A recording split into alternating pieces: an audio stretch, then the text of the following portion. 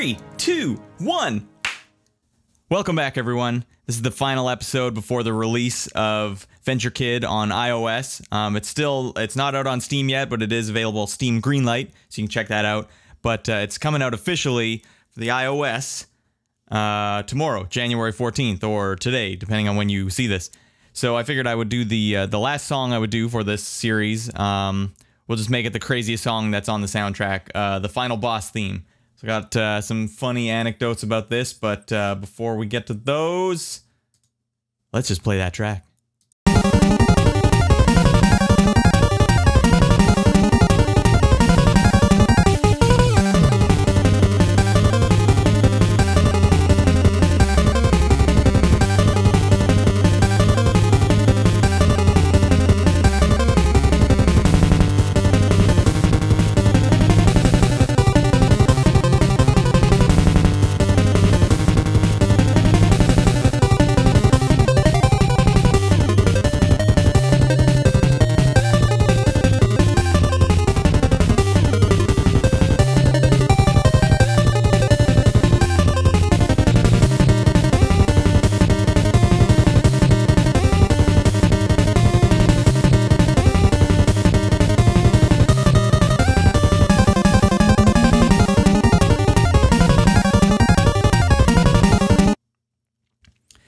Right, so that's the final boss theme.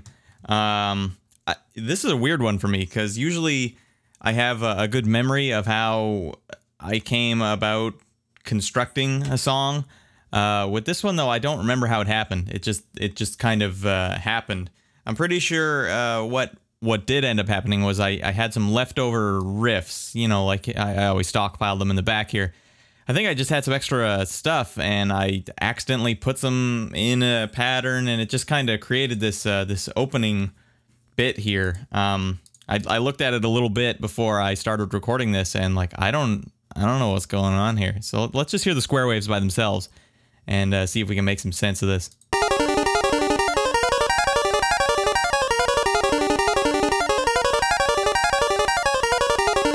All right, a little chaotic there. Let's hear one by itself. Okay, it's getting a little closer here. It is in a weird time signature, though. Uh, one, two, three, four, five. I think it's five, four.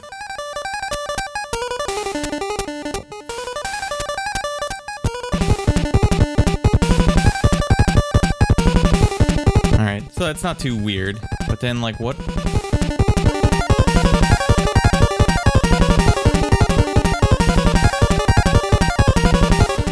Mean, I'll be the first to admit, I think this is just, I think this is just chaos. I don't think it makes sense. But um, when you're kind of working with something that sort of zany, uh, what you can do is just try and anchor it with a nice bassline that kind of, uh, you know, ties it together, seals the deal. But even then, I don't know what.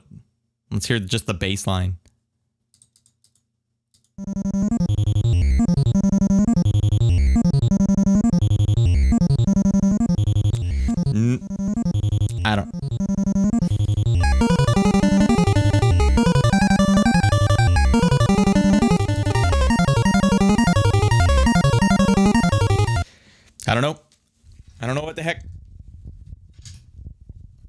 know what the heck happened here. Kind of reminds me of that uh, that scene from Old School where uh, Will Ferrell is doing the debate and he blacks out and ends up doing a debate competently, but then um, wakes up after and has no idea what has just happened. Like I don't remember writing any of this. I don't. I mean, it's it's not like I'm saying this song is oh so well woven, but it uh, for a final boss track, for as much chaos as there is, especially in that opening part, um, I, it it works for what I would want. Anyways, like I, I don't know if it works for you guys, but that's what I want. But I don't know, uh, like if I was to recreate that, I don't know where I would begin. That's a that's a weird one. I can tell you with this pattern though, um, enough enough self patting on the back there, Norrin. Um, with this pattern, where is it? Here we go. You guys remember that first Hulk movie that came out? Um, the one with Eric Bana as the Hulk. There was a, a song that played during the opening credits. Such a good um, It was like a really good theme song, um, and it had like this uh, this cascading sort of string part that um, I definitely remember. Uh, without referencing it, I wanted to do the same thing. Like that's what I was hearing in my head, so I did it a lot faster um, than uh, than the track, obviously. But um, that's kind of what it would look like on the NES. Is something like this. So uh, I think I'm just doing the scoop. Yeah, well, you got the 56, then it goes right to an 8, then 46. So we've talked about that. The scoop coming in handy. It's a good tool in the toolkit.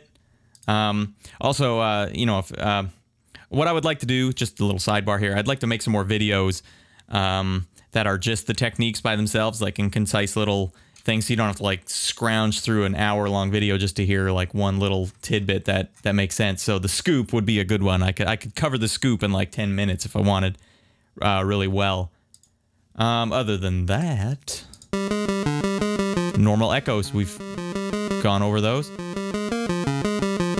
What I did want to do though, um, it's kind of fun playing with listeners sometimes. Like when you when you look at this pattern, it's rapid fire. Like the bass is but then the very next pattern, um, the bass for the entire soundtrack, this is the most sustained the bass ever actually gets. It's just one solid note.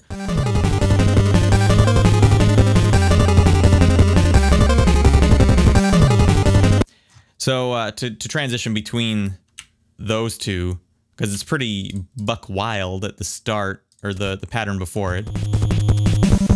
So going from this pattern to the other one. So it's got a little uh, it's got a transition. So uh, we staggered the listener just a bit. Uh, that that we kind of went over before. We staggered the listener now. Something's happening, and you see how um, the entire hold on this thing this thing I swear. Okay, should be good for a bit. You can actually see it dipping. I noticed that watching the videos. Anyways, um,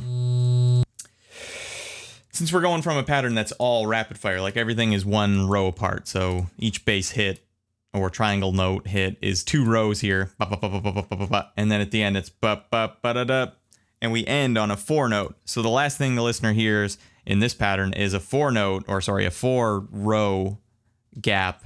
And so that sort of sets them up like, okay, guess what? Next pattern, it's not always going to be.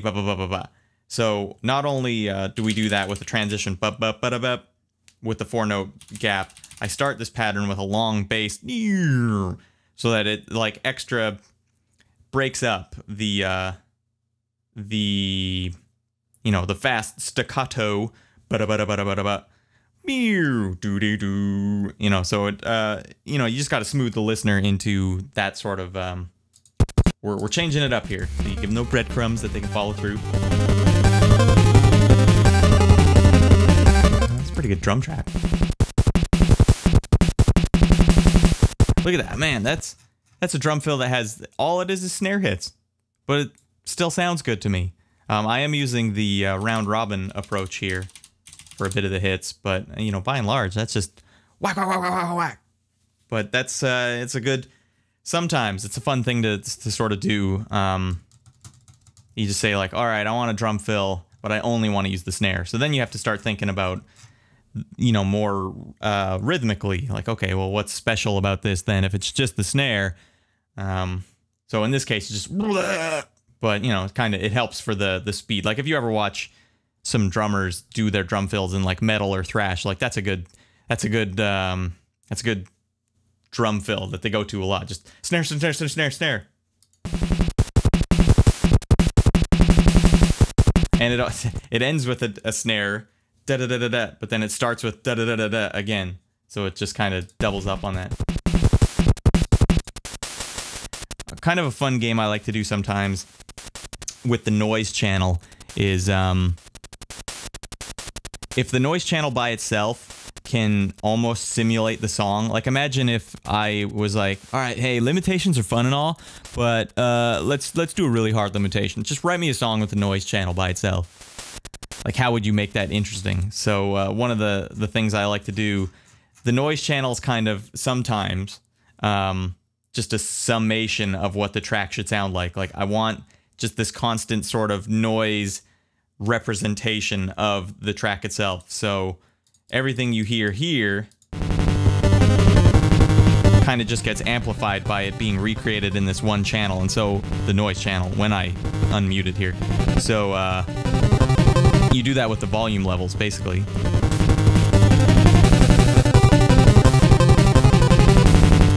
So sometimes there's big sustained ones, like that's what the CO5 is, but then there's short ones too, which are the um, the O4s and stuff. Um, so you just kind of make the accents like whenever there's an accent like here. Actually, I don't do it here. Never mind. Don't listen to me. But on occasion, I want there to like. Here's a good example, even though the other ones don't prove my point. Here, um, there's a four row thing here, and I want it to be distinct sounding. So there's also a four row noise hit, and sometimes you also have to lead up to a like a four row noise hit with some transitions just in the noise channel by itself. So you'll notice there's two four row noise hits here before there's one that matches everything in the track. And that's kind of like a build up so that everyone gets ready that there's going to be an accented note uh, coming up. So let's, uh, what is that, row 72? So let's, when it gets to row 64, which is halfway through, so after four full beats or whatever, um, we do uh, crash, crash, crash. And that, um, that sort of symbolizes the, uh, you know, the overall rhythm of the track. So let's hear that.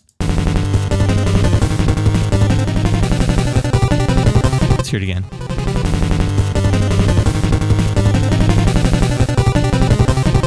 It's almost like I want uh, this. The noise channel in this is um, that's what I want the the listener to be tapping their head to, like crash, crash, crash. I want them to do that. Um, yeah. Moving on. Little lead here, going with a little 50% duty cycle.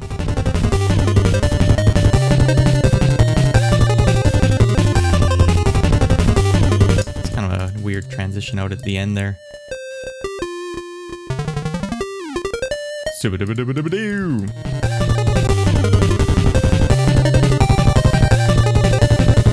Um, these kind of sound good when they're high notes.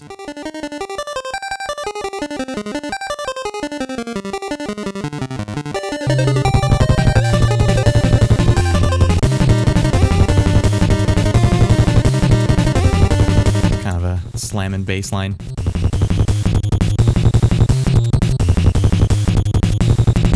Going back to that very first video I made, you remember me telling you about like love it when the NES just has bit um that's that's what we're hearing here and so uh, good go-to move is just SC1s everywhere. I want that thing to be cut off. Just cut it off, but I want it to be cut off as as close to the next note as possible. So you're just kind of getting you're you're getting hit with a lot of bass there.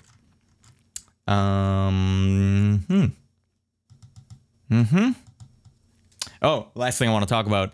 Um, the transition at the end. You, uh, last video, I talked big time about transitions at the end uh, being something that I work on really hard. With a track, like I was dreading this transition so much because this first part is so ridiculous. Um, like good luck transitioning into that. Like what do you what do you do?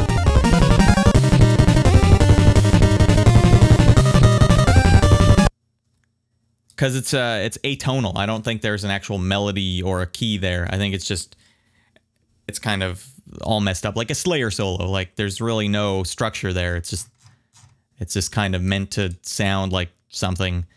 But that's really hard with um excuse me chip tunes because uh, you have to put a note there. You can't just be like oh, I'm just gonna kind of like on guitar.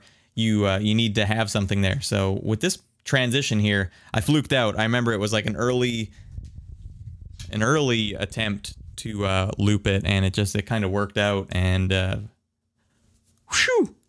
So uh, yeah, let's just hear that transition.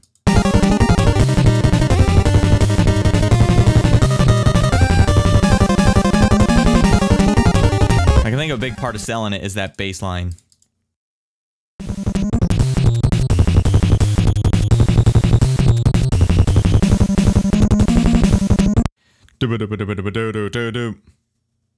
Um, yeah, because I mean, I'm going from.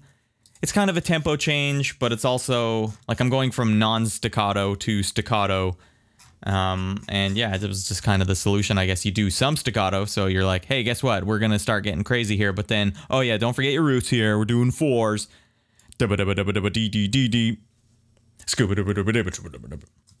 Um, yeah, that's a wild track. Uh, I like it. I'm glad that it turned out the way it did. I almost can't take credit for even having my name attached to this. I don't know how this song wrote itself. The weird one. They're just a weird one. But uh, final boss themes, man. Nothing beats a good final boss theme. Not saying mine, but man, like you get to like level 8 in Contra and everything just gets all weird. Awesome. You get to, um, you know, just when you were younger, you know, before you had save states or, or what do games have now, like uh, checkpoints. Before you had checkpoints, man, you get to the final boss in a game and you get to a final boss in some games and it's like, well, I don't have any continues left and this is my last life and this is the only chance I'm going to get to like see this boss, hear this song, die immediately, start the game over again. Like sometimes those those final boss themes or last level sort of themes, man, they uh, they're some of the uh, most hectic and like I don't know, stressful stressful moments as a kid, but but cool all the same. Like yeah, I remember I remember getting to the, like the final boss of Rygar once and like that whole final castle like i was genuinely scared playing that last level because it was like this weird ominous arpeggio that's playing and like there's no drums or nothing and like uh, good memories so yeah something about final bosses or like last also what did you guys used to call the final boss in the game because when i was a kid we always just called it the last guy oh i got to the last guy and like I, I know I don't know like final boss is like just what I use now. I think that's the the proper term for it. Um, but yeah, last guy. That's what I always used to um call the last boss in the game or last boss even. But uh, no, it was always last guy when I was a kid. So let's uh, dive into some of the deleted scenes and then we'll wrap this whole thing up.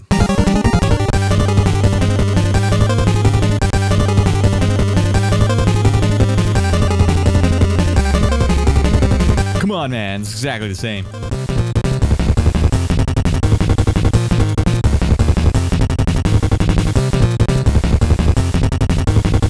That's cool. I was going for something here, I guess.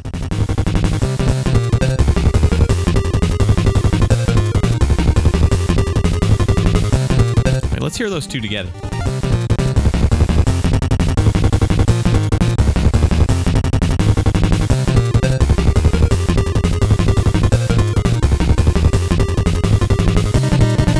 Alright, and then it Kind of goes off. But yeah, there's a, a little piece that I just couldn't fit in. Ooh, hey, this is probably supposed to be attached. Let's hear it attached.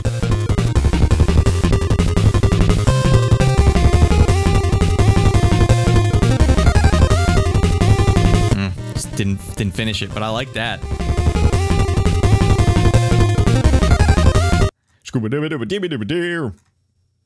What else we got?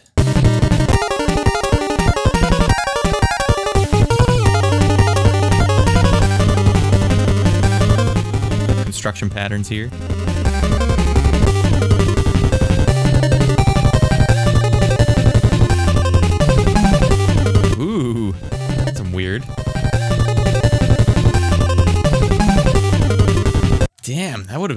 Good as heck in there. What am I doing here? They're all just hitting the same note and there's some detuning, I think. Simple as that. Who knew?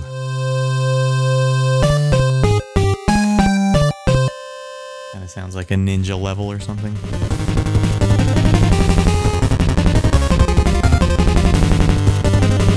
This is good stuff. Leave it out because it's just like it would have like it would have derailed the sort of overall Jeez. at least it, it gets to shine a little here. This is the only place it'll ever shine.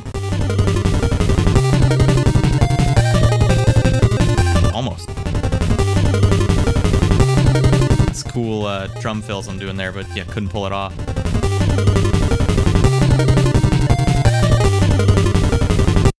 Check this out. I mean, this would have been cool. This would have been acceptable. Just duplicate that a couple times.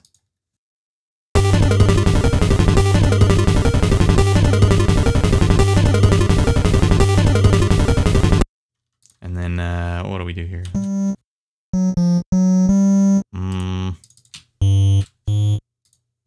See what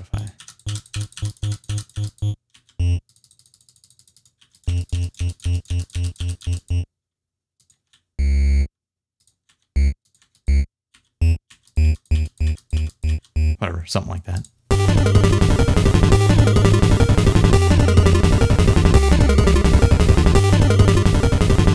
That could have worked. The the patterns that never were.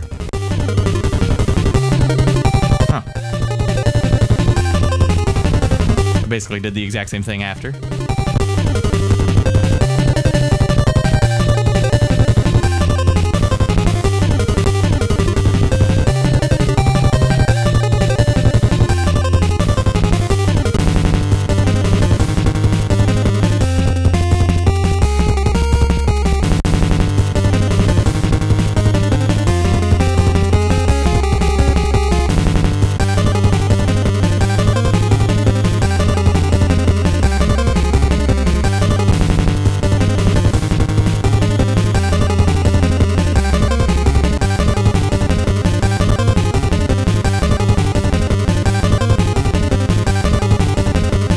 Like that. That could have been good too. Now, what was I doing? Why am I deleting this stuff?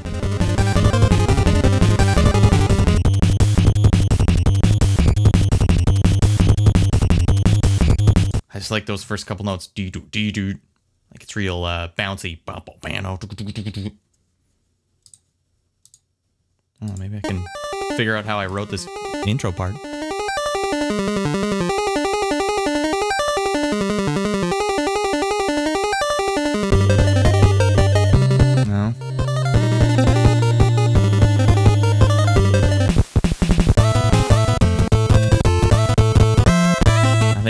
That wraps it up. That wraps it up. That's a wrap. Wow. okay. Well, I'm really happy that uh, some people have uh, enjoyed these videos and people have checked them out, uh, despite them being way too long to actually get any useful chiptune information from.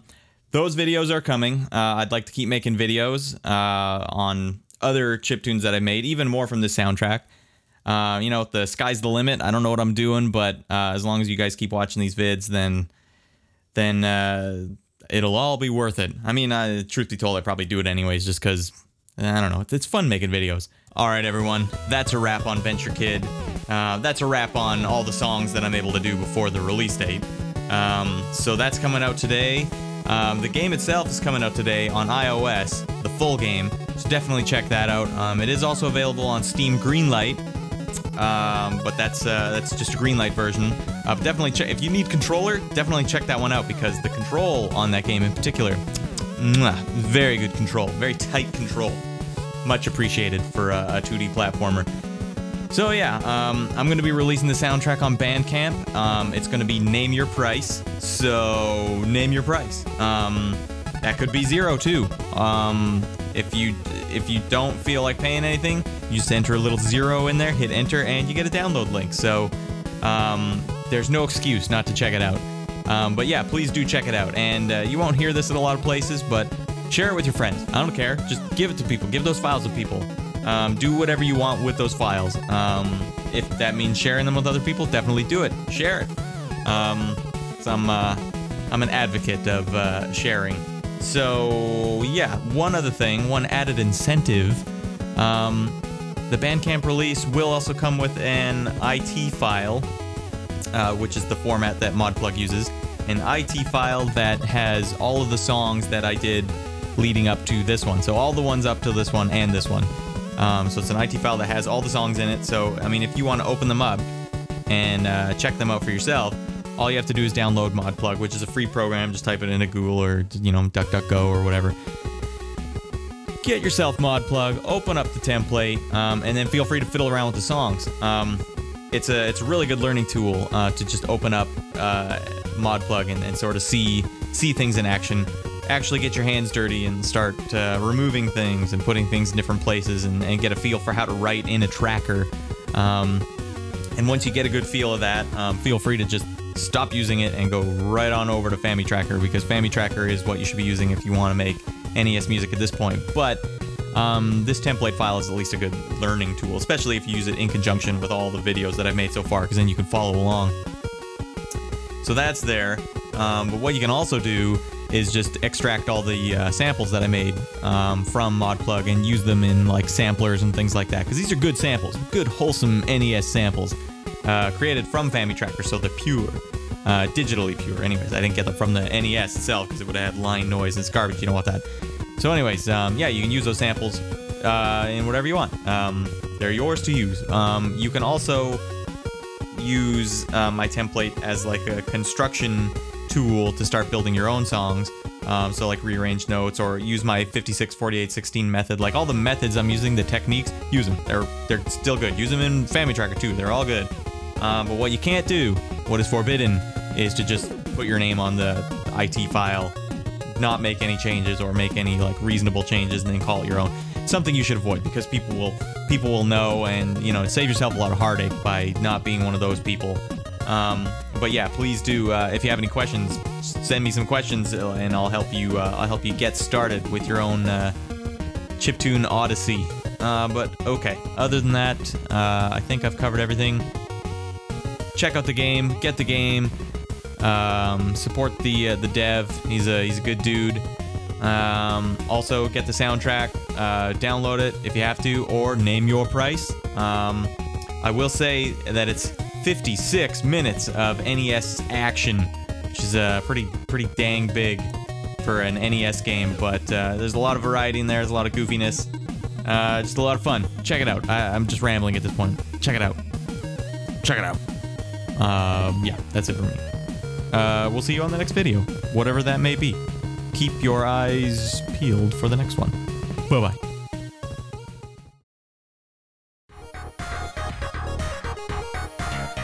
Hey, thanks for watching this video. We'll see you guys next time. Feel free to subscribe to this channel.